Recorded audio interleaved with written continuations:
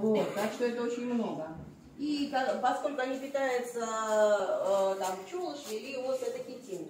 И хитин у них э, накапливается в желудке, если вот ногу разорить, то там будут целые горы этого хитина, то есть э, щурик э, отрыгивает этот хитин. И зимует она в Африке. А Вот. Здесь у нас вот недалеко, в Подмоклово, на крутом берегу, как раз вот целая колония щурок была Не зафиксирована. осыпается все.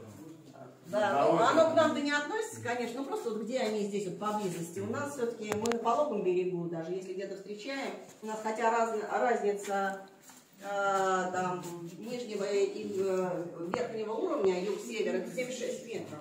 То есть они могут где-то там быть, но вот сейчас вот э, их встретили там большим числом. Вот. А зимородки, они питаются рыбой. Тоже птицы перелетные, тоже краснокнижные.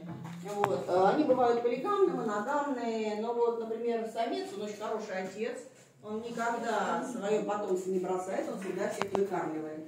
Птицы тоже, они все разные. Вот тот же, например, э, Вайшнав, он самкой остается на момент, когда она от- отложила яйца, и потом он ее покидает.